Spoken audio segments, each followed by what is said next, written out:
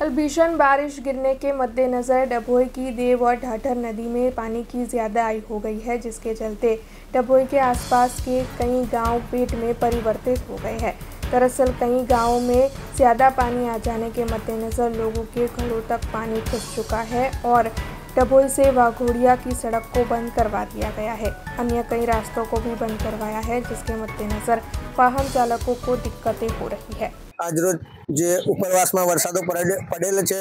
એના કારણે ગામમાં પાણી ઘૂસી ગયેલ છે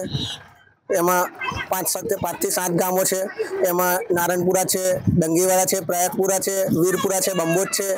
એમાં ભારે વરસાદ ને ભારે ડેમમાંથી પાણી છોડવા બદલ આ બહુ તકલીફમાં મુકાઈ છે પબ્લિક અને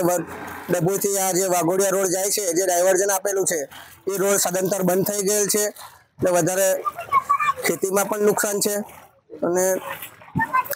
જે ડાંગર હમણાં હાલ રોપાયેલી છે, એ પણ તણાઈ ગઈ છે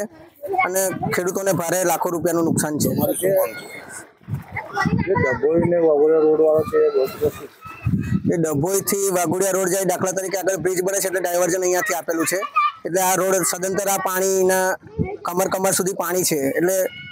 रोड बंद कर हमसे जुड़े रहने के लिए हमारे यूट्यूब चैनल को सब्सक्राइब करें और नई वीडियो की नोटिफिकेशन के लिए बेल आइकॉन को दबाएँ।